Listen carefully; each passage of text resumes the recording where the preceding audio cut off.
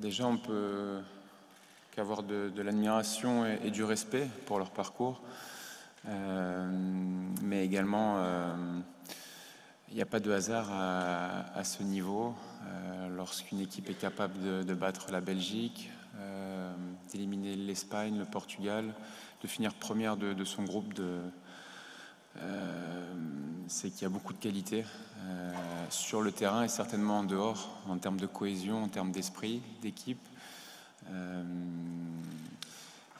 et, ça sera un adversaire redoutable. En plus de ça, il faut ajouter certainement le climat hostile qui va, régner dans, le stade. Euh, mais on se prépare à tout, tranquillement, sereinement, en, en, analysant bien notre adversaire. Et il faudra être prêt une nouvelle fois à, élever notre niveau, à répondre à la demande d'une demi-finale de Coupe du Monde et, euh, à se surpasser euh, dans tous les aspects du jeu.